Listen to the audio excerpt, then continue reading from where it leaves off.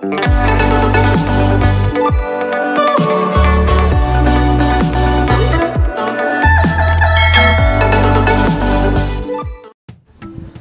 day, learners! I am Teacher Kristoff, your science teacher for today. Today, you are going to learn about measuring motion in terms of distance and time.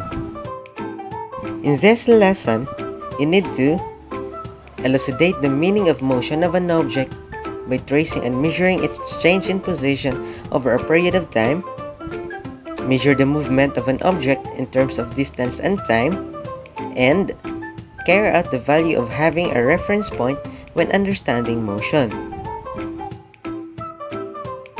Body movements in any games are necessary to play the game properly and of course to win. Motion and energy are relatively important in our daily life. Motion and energy work together to make things easier for us. Through the help of force, motion can be achieved. Without motion, we cannot do work and enjoy life. Life is so boring without any movement or any motion in it.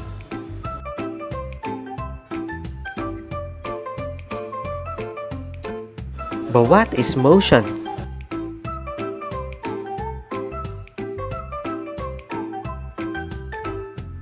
By definition, motion is a change of position with respect to its reference point. From the time we wake up until we go to sleep, all our activities involve movements.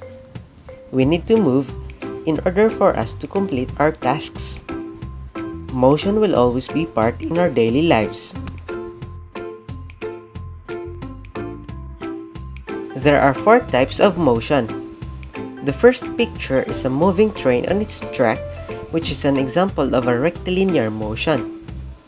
In rectilinear motion, movement of an object is along a straight line. The next picture is a Ferris wheel wherein the motion of an object is in a circular path called circular motion.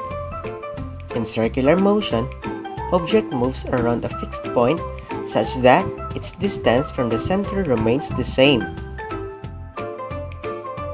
The third picture shows the Earth revolving around the Sun, which is an example of a periodic motion. The motion repeats itself after definite time interval.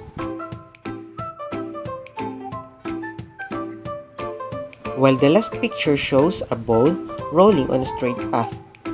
This is an example of a rolling motion, a combination of rectilinear motion and a circular motion.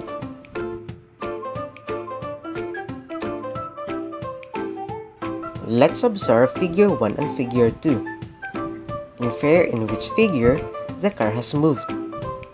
Is there a change in position of the car in figure 2? Yes, there is a change in position of the car in figure 2. The change in position of the car means that the car has moved. Thus, there is motion. We know the car has moved because it changes position. The basis in describing the car's position is the reference point or the frame of reference. We know that something has moved because it has changed position. Position is the location of an object. It is an object's distance in direction from a reference point.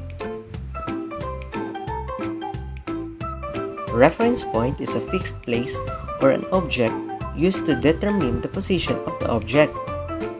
The car in the first activity has changed position when it was a meter away from the trees. This process of changing of an object's position is called motion.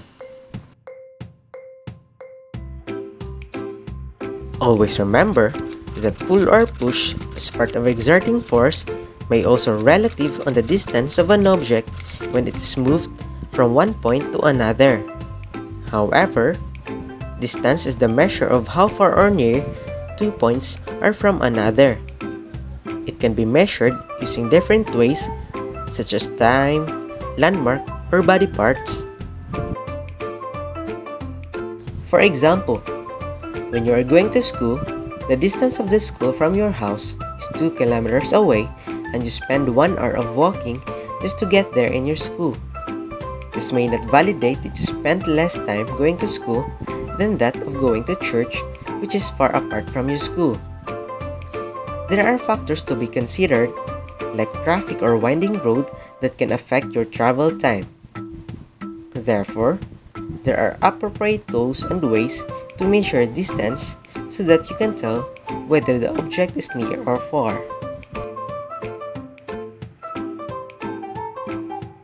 Distance is measured by using tools such as meter stick, tape measure, measuring wheel, and ultrasonic distance measure.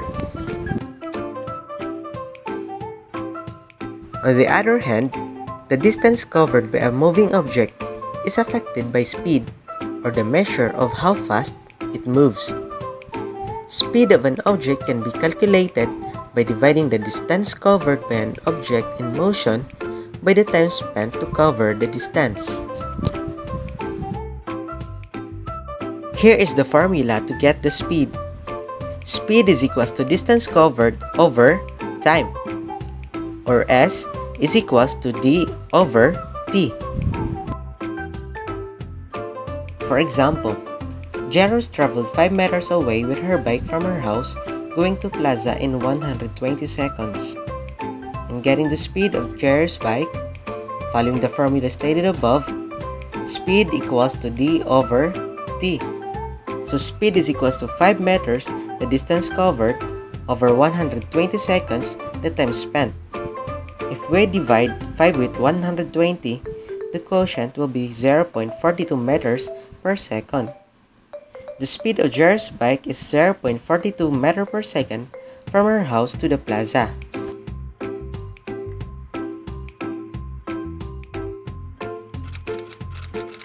Also remember that in describing the motion of an object by tracing and measuring its change in position over a period of time, you need to take value on the importance of having standard unit of measurement in determining the distance between two points.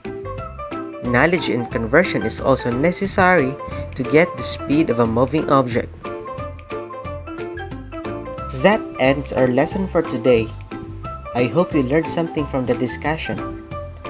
Kita kids in the next lessons. Until next time, goodbye.